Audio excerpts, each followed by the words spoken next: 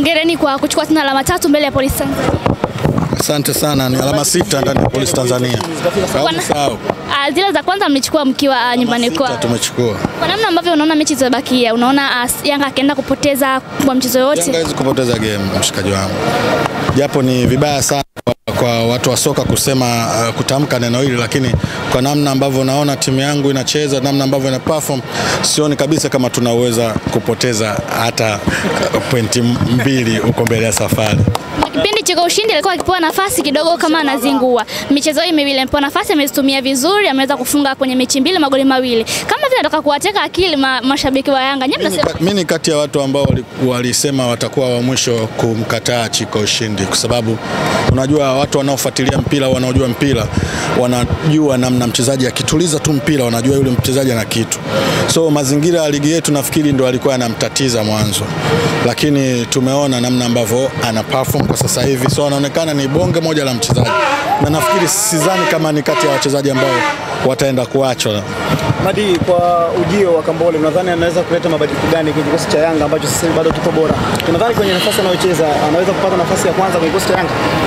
Yes, nafikiri uh, walimu au mwalimu Nabi anamfahamu sana Kambole kuliko ambavyo mimi namfahamu. Mimi unapofanyika usajili uh, siwezi kutoa uh, neno lolote ambalo litaleta ukakasi uh, kwa mwalimu au kwa timu yangu zima.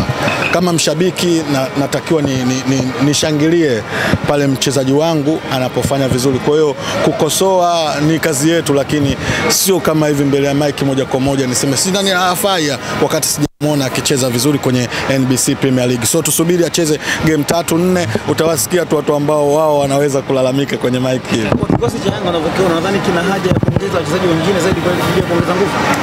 Ambao tumepata taarifa zake e, ambao wanakuja, nafikiri watafanya inakuwa Yanga kubwa zaidi ya hiyo Yanga ambayo tumeiona. Nafikiri pia kuna ambiti nyingine kwenye msimu ujao na Champions League. Nafikiri tuna target ya kwanza kabisa, nimemsikia uh, kiongozi wetu mmoja ametamka target yetu kubwa kabisa ya kwanza sisi kucheza kwanza kwenye makundi. Kwa hiyo baada ya hapo tunajua tunaenda kucheza hadi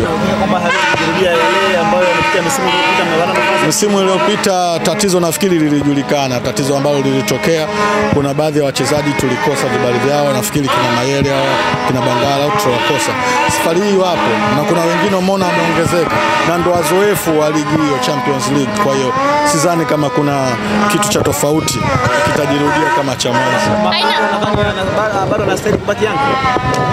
Nafikiri hiyo ni kazi ya mwalimu na uongozi mzima wao. aina magoli ambayo anayafunga Feitoto unaweza ukamfananisha na mchezaji gani nje ya Tanzania? Eh? Aina magoli ambayo anayafunga Feitoto unaweza ukamfananisha na mchezaji gani nje ya Tanzania?